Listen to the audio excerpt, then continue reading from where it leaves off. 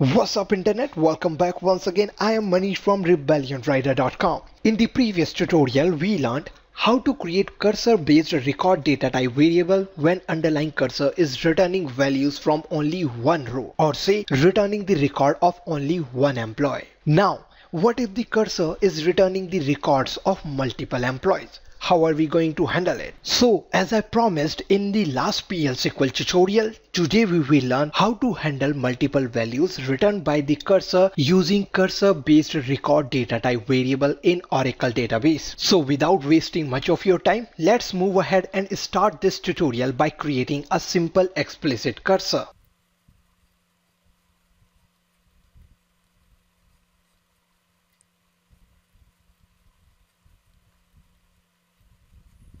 So here we are.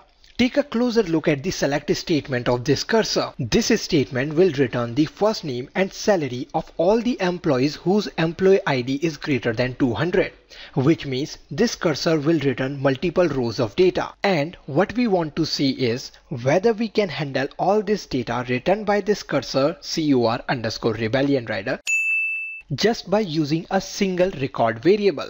If we talk about the traditional approach, then we have to declare two separate variables with the same data type and data width for holding the values from the corresponding columns which are first name and salary in our case. I know at this point some of you will think it's impossible. So let's see is it really impossible or not.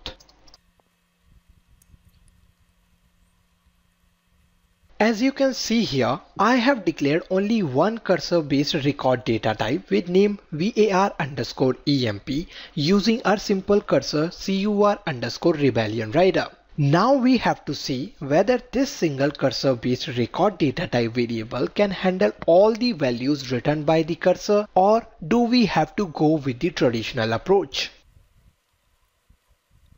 As I mentioned in the previous tutorial also that we are dealing with cursors thus we have to make sure that we follow the cursor life cycle properly. Hence I open the cursor before I start using it.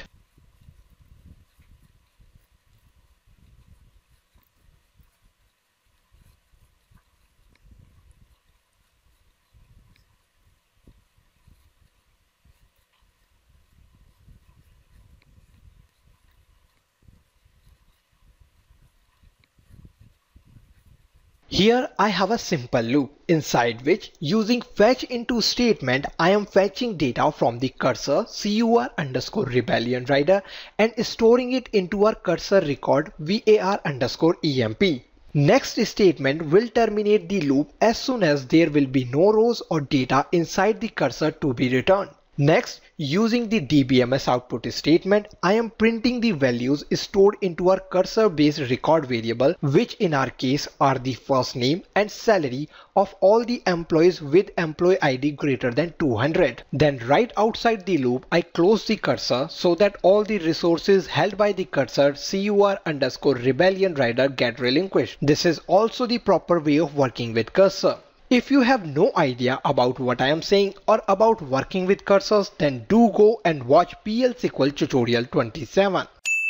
Find the link in the description. Now let's execute this code and see whether it will be a success or a failure. And here we have the result which means a single record variable can handle multiple values written by the cursor. So that is how we handle multiple values using single cursor based record data type variable in Oracle database. Before winding up this tutorial, I have a question for you. Can we simplify this code or is there any other way of getting the same result using cursors and record variables? If so, then what is it? If you need a hint, then watch PL SQL tutorial 30 on cursor for loop or read my blog on the same topic. That's it for today. If you enjoyed watching this tutorial or want to say how you like this video then leave a comment down below or tweet me at Rebellion Rider. You can also send your feedbacks on my Facebook. All my contact details are in the description. Most importantly, don't forget to hit the like button and subscribe to my channel. You can also help others in learning as well as support me and my channel by sharing this video on your social media with your friends. Stay tuned as I will be back soon with another interesting PL SQL tutorial for you. Thanks for watching. This is Manish from RebellionRider.com.